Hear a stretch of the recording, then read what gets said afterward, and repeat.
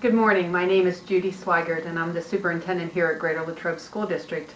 And I appreciate the opportunity to update uh, the community on some things that are going on in the school district and, of course, around the state. Um, The first thing, um, we're sitting here, and there's an article in the newspaper this morning about um, Governor Wolf signing the bill about the Keystone exams.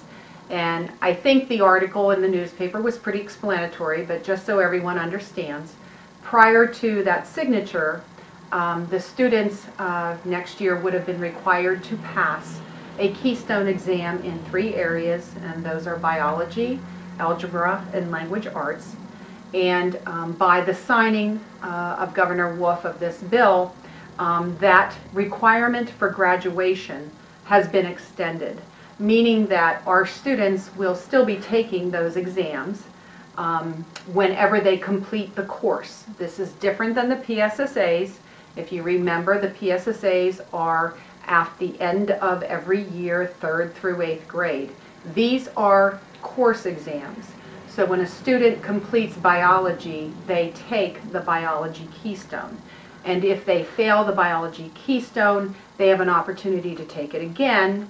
And prior to this bill being signed by Governor Wolf, if they didn't pass it the second time, they would have had, had to take a remediation project and then have, having completed that successfully, could have graduated.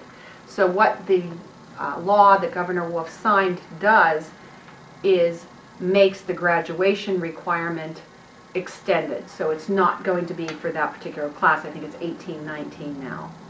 Um, so the students will still be taking the Keystone exams, but it's not a requirement for graduation from the state. Um, these exams, um, having been developed, um, you know, a few years ago, are really based on the Pennsylvania Core and what our students should know in those areas, and um, they are important. And um, we continue to work on our curriculum to make sure that our students are able to pass those exams. So that's what that means if you've read that article in the newspaper. Um, more to come on that.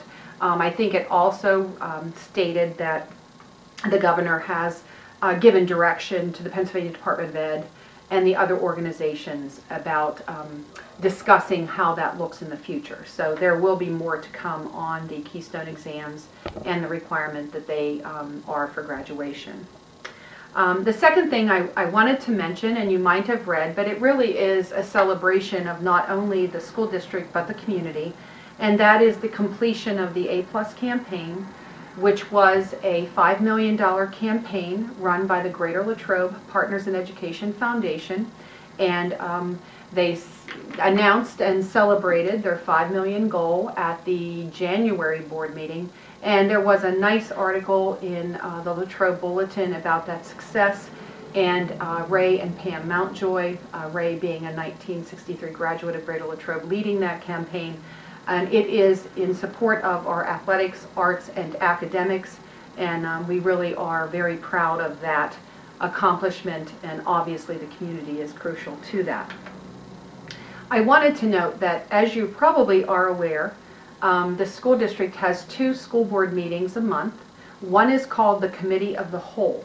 And what that is, is it's a meeting um, where the items that will be voted on the next week are discussed by the board and presentations are given. Um, There is no public comment at that meeting, but it is a very important meeting because obviously that's where the information is shared about what will be voted on the following week. Um, The following week, the following Tuesday, is the voting meeting of the board, and that is um, where the board actually votes on each of those items. There is generally not as much discussion because they have discussed it and information had been presented at the previous meeting. That is the meeting where the public can make comment about the items that are being voted on or um, um, general comments at the end of the meeting. Um, So um, I've noted, uh, or Dr. Laughlin noted at last month's meeting, if you're unable to make either of those meetings, they are videotaped um, by the Greater Latrobe Community Network, and they are um, available for view. So if you can't make one of the meetings or both of them, um, we hope you watch um, the uh, meetings online. Uh, They really are hopefully informative. And if you watch and you have questions about something that's discussed or something that doesn't seem to be clear, we really truly ask that you give us a call, um, myself, Mr. Watson, whoever it is that's presenting or what department is being, um, that you're questioning. So um, it's just a note, and uh, we appreciate the video being done of the board meetings because it does provide that community access. Um, wanted to also note, as I think I did in the last update that I did, uh, about the STEM initiative um, in the school district. Um, uh, this month and every month actually at the Committee of the Whole, um, various levels this year are reporting out on what they're doing with the STEM program. And this month and in April, um, Sherry Durgan, uh, Mrs. Durgan, who is our STEM coordinator at the elementary buildings, will be sharing um, Project Lead the Way modules with um, all of the board and the public. This month, which would be next Tuesday, I think it's the 9th or the 8th, I'm not sure, um, um, they are presenting the kindergarten and third grade program and Mrs. Durgan will be there and hopefully with some students to share what they're learning in those programs. It really is a unique and wonderful opportunity for our students to um, critically think and problem solve um, at that level. And if you ever have an opportunity and if you get to see these students in action, uh, you'll be amazed at um, the methods that they employ to solve a problem um, that is quite complex. So um, please, if you have an opportunity, um, watch the video or if you can attend the meeting um, on Tuesday. Um, one other thing that I wanted to mention is career pathways. we are uh, part of the Westmoreland County Workforce Development Board, um, which is obviously made up of the entire county, school districts, as well as business partners and so on.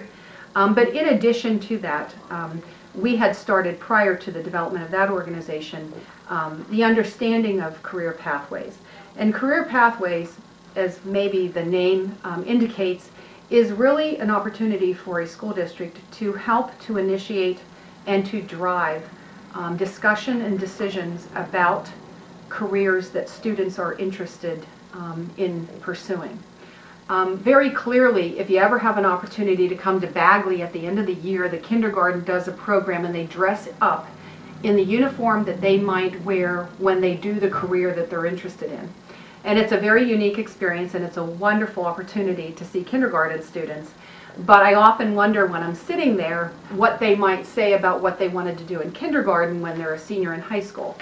So our job um, in the school district from kindergarten through graduation is how do we employ all of our resources to help students to decide and to recognize what their um, talents are and where they might have interests in pursuing a particular career.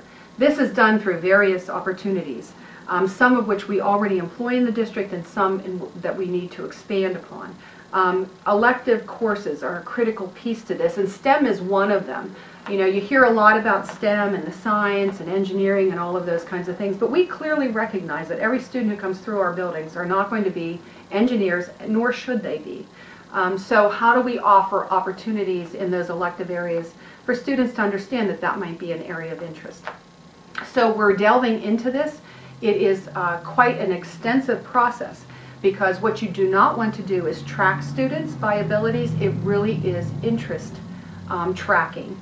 And I may pursue a medical area career pathway, but I'm not going to be a doctor. I might be a technician, but I'm in the same pathway because it's a medical pathway. So we're starting this. We're starting with our next year uh, students coming in.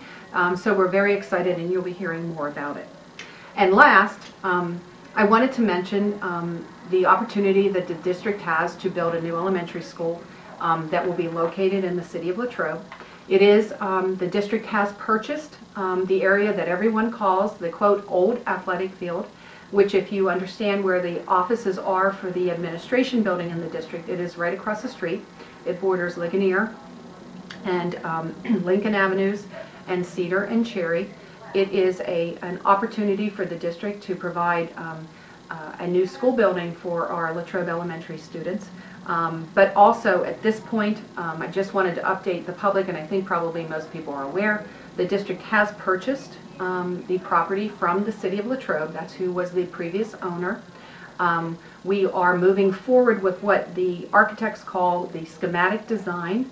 There is nothing yet to show, um, but hopefully in the next few months there will be. Um, And our goal and timeline is that next year at this time, uh, the district would be uh, approving bids um, for the various contracting services. Um, So it's a very long process um, to design and build an elementary school of approximately 120,000 square feet. But it is truly a unique and, and wonderful opportunity for the community and for the school district. So we're very excited about it. And we have, um, if you're interested, um, on our website, uh, an LES building project. Um, Note that if you click on that, it will take you to all of the resolutions that the board has voted on, as well as information pertaining to the building. For instance, the settlement agreement uh, for the purchase of the property, the appraisal of the property, all of those kinds of things that um, you might have interest in looking at. Um, And we will continue to add and eventually uh, put photographs um, of the progress of the building on that site as well. So again, it's on the district website, glsd.us, and just look for LES Building Project, and you'll, we'll be updating that um, with all of the information as we move through the project. So it's an exciting time here at Greater Latrobe. As always, um, I hope that you have a comfort level um, calling if you have any questions. Thank you very much.